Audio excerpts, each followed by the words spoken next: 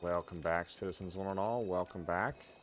Let's talk about where to catch a radiant sunfish. So any time of day in Kilima rivers with just plain worms.